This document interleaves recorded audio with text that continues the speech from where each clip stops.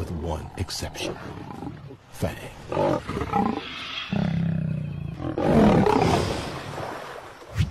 You see, we like to think we're smart, and we are, but sometimes we just get it all wrong and we mess it up, and even the animals have to show us how it's done. The male is to be the protector, the female is to be the protected. But that also means that you got to take on the role of being the protected. There's no, uh, I don't need a man.